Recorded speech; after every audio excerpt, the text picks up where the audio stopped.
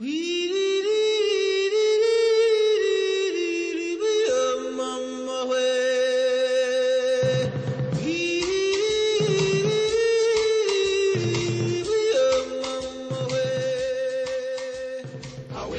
is feeling the jungle vibes today.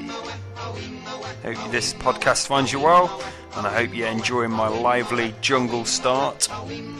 We are talking about animal behaviour after all, and let's face it, we're all just apes, really.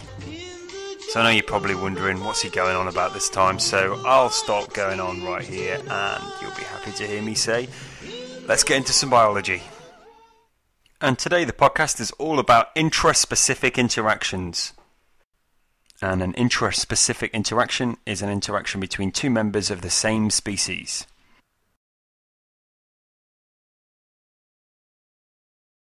Always good to start off with a definition, eh? So, as you can see on the screen right now, today's objectives for this podcast. So, I'd like to start off with defining what an intraspecific interaction actually is and why animals would interact in this way. And then look at a few sort of general examples of animals interacting intraspecifically. And then finally, looking at some specific terms such as um, reciprocal altruism and kin selection. Okay, so let's first of all start looking at okay, well, why do animals um, of the spa- same species interact with one another? See if you can come up with a few reasons for yourself to start off with. Maybe pause me for a second while you have a think. Okay, now to explain this, I just want you to have a think about humans, for example, and what it would be like if all humans worked on their own as opposed to working in teams or in groups. And I think you'd see it'd be pretty difficult to, for us to uh, operate and achieve what we do achieve on our own. If you think about when humans were sort of like um, cavemen, um, on their own they'd be able to hunt small animals, but working in groups they'd be able to hunt huge animals like mammoths and things like that. So by working in teams, they were able to actually uh, achieve a lot more. And that's the same with animals. And that might be helping each other out to um, to create something together that they wouldn't be able to create on their own, or it might have just been looking out for each other. And that's what we're going to start by looking at. A few examples of these sorts of things. Now, starting simple, we're just going to look at some just simple behaviours where animals of the same species um, work together for mutual benefit, really. And there's a couple of really easy examples that spring to mind. So if you just look on your screen right now, you'll see some penguins. As you know, penguins only found in the southern hemisphere, and these ones are emperor penguins found in Antarctica. And, and you can see that they're clumped really, really close together there. And have a think for a second what the purpose of that behaviour is. Okay, so yeah, you may have come up with this. I'm hoping you did, but they they're really in a living living in a really cold place, and they want to actually conserve as much body heat as they can. Now, by clumping together like that, they actually cut down on their surface area that's exposed to the elements.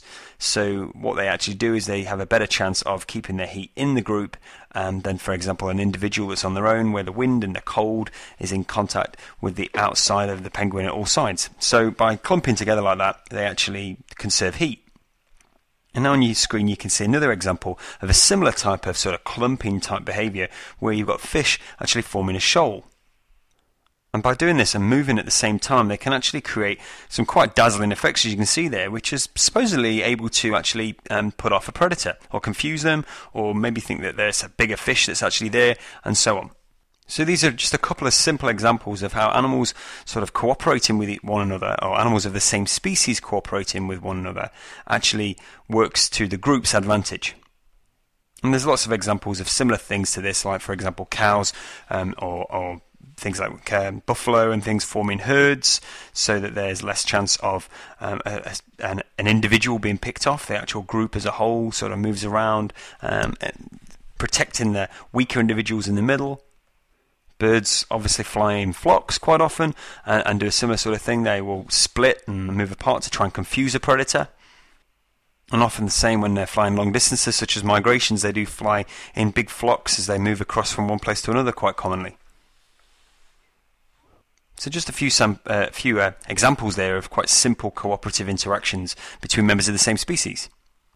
So now I want to look at some more specific examples of these cooperative interactions between members of the same species. And I want to look at a particular term here called altruism and another term called kin selection. So we'll start off with altruism, and on your screen right now you can see the lovely picture of the little meerkat there. And um, basically, this is an example of altruism, or a famous example of altruism with this species. Um, altruism is sort of like um, if you look after me, I'll look after you sort of type of behavior. It's sometimes known as reciprocal altruism. And the real definition for what it is is that you basically one individual does something for another individual without an immediate benefit for that behavior. So, in terms of the meerkat, the famous example is that a group of meerkats will be feeding, while one particular meerkat, or maybe a couple of meerkats, sort of just stand on their hind legs like this one here and just watch over and watch guard, and just to make sure that there's no predators on the way. Obviously, that's really good for the group, but for the individual who's guarding at that specific time, there's no benefit to them whatsoever because they can't feed. And that's where this idea of reciprocal altruism comes in, with the idea that, yeah, they might not be benefiting right now, but give it 20 minutes or so and it's their turn to feed, then they're quite happy that someone's actually keeping a watch for predators for them. And this behaviour occurs in humans and lots of other organisms.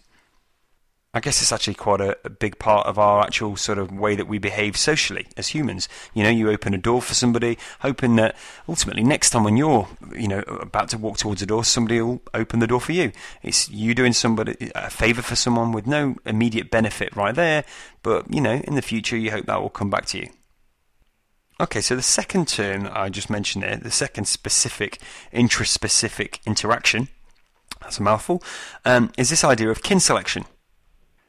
And this is when an individual does something to benefit a member of its family without any benefit to itself. So it's a bit different to altruism where there's this sort of you scratch my back and I'll scratch your sort of mentality. And it's maybe more of a you're a relative of mine, so I'm going to help you out. Think of maybe um, a fire in a house and someone's baby's inside. The parents will run inside to try and rescue the baby. Now, it might seem that that behaviour has no benefit to the parent that's run into the burning building, but when you actually think about it, there is quite a big benefit there. Think about the similarity there between the parent and the baby or the child, especially in the fact that the child is carrying the parent's genes. So it's really important to the parent that the child survives so that the genes survive.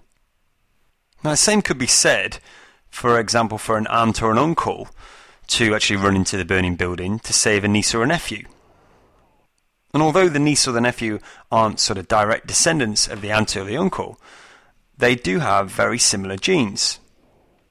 So ultimately, it's seen as beneficial for the aunt or the uncle to save those offspring or the, the niece and the nephew so that they can actually ensure that the genes that they possess are passed on through these children. And we see, we see this in the animal kingdom as well. One example that springs to mind is to take, say, for example, a pack of lions. And one lioness might have uh, a group of cubs, and that lioness's sister might not have any children that year. And the lioness without any children actually helps her sister to bring up her own offspring. So she's sort of like the aunt lion, if you like, the auntie lion, and she basically helps her sister to bring up nieces nephews, uh, the lion cubs. Same thing there. She's not actually helping her own offspring, but the niece and the nephew have similar genes to her own. So ultimately, in an evolutionary way of just thinking about things, she's actually doing something of benefit to herself. Richard Dawkins has a really neat way of summing this type of behavior up and explaining it. If you're not sure, Richard Dawkins, really famous evolutionary biologist, just Google him, you'll find all kinds. Um, his idea is the fact that our genes are actually really, really selfish, and the only thing that actually survives are the genes itself. He argues that the idea of survival of the fittest is sort of arguing that individuals survive, but of course all individuals die, and the only thing that actually survives is the genes. So he argues that genes are really just competing with one another to survive, and the genes that provide the best characteristics for the vehicle or the organism that they're part of will be the ones that are passed on to the next generation and beyond. So he argues that genes actually drive everything that we do, including the way that we interact with one another. So he explains altruistic interactions or reciprocal altruism by seeing it as the gene is doing something for a particular individual, um, knowing that the individual will do something later on to help it and improve its chances of being passed on to the next generation. And in terms of kin selection, genes will make the individual do something beneficial to a relative, knowing that that relative actually possesses the same genes as itself. I'll post a video on the Wikispace of Richard Dawkins himself actually explaining this. He probably does it a little bit better than me. Um, if you're not understanding that, don't worry about it right now. Just concentrate on the definitions of kin selection and altruism and, and go and watch that another time. But it really is quite interesting. Richard Dawkins also has a book called The Selfish Gene, which is also quite an interesting read if you get a chance. So that about sums up this podcast, where we really just looked at what intraspecific behaviors are and, and looked at some specific examples of them and how they're an advantage to the different individuals that interact with other individuals of the same species. The next podcast in this series will be looking at how animals interact with one another to actually form social groups and how those social groups are organized and how it's an advantage to be in a social group but also a disadvantage. And we'll also look at how different groups of individuals from the same species, different groups, say for example a pride of lions, interact with other prides of lions. But anyway, enough from me for the time being. Hope this podcast has been useful. As always, take care and keep it real.